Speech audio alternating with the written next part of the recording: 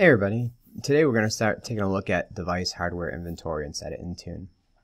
So the way we get started is you're going to create a new policy. Now, when you go down to Windows 10, you're going to see a brand new type called Properties Catalog, which is a little confusing, but we'll give you an idea here. So I type in, type, type in device hardware. So now it kind of looks like settings catalog, but when you hit add properties, you're going to see all these different categories you can select. And just for fun, we'll select everything. And in my blog article, we'll, we'll cover all the different pieces of it. But you can see here, you got like battery, BIOS, CPU, disk, encryptable volume. So you can see all kinds of stuff in here. So there's a lot of really cool, fun info that is available. Then you hit select and it'll show you here how often it will refresh. It's pretty neat. You can even remove categories. You're to hit next. And then from here, I'm just to go all devices.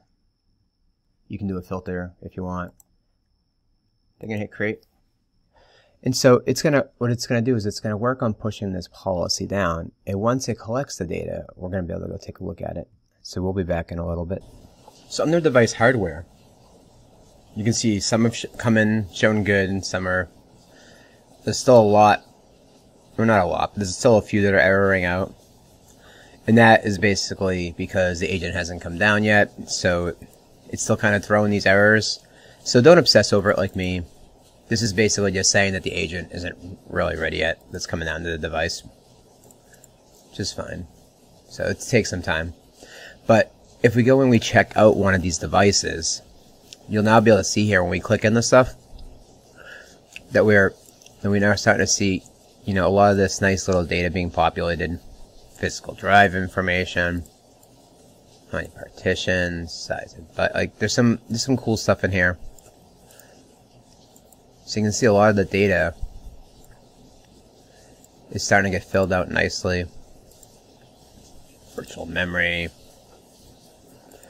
I believe the plan is going to be is that they're going to eventually allow you to use this type of data in um in some dynamic device groups and stuff like that, but we're not quite there yet. But so if we unpeel back the onion a little bit deeper, I'm going to show you what I did. What another thing I found when looking at some of this.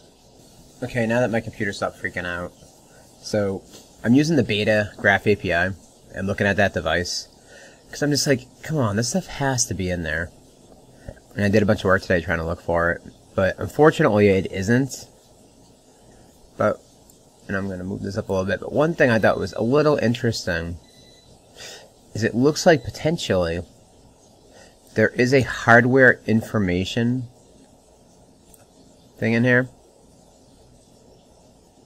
And I don't I don't know enough about the data structure on it, and I'm still trying to do some research into here because they haven't currently opened it up to the API the idea is going to be is you're going to be able to export via CSV, and of course you can see it in the console right now, but um, but you still can't really get a lot of information that you're looking for. I mean, you can work off the existing hardware information, but we're still just not quite there yet.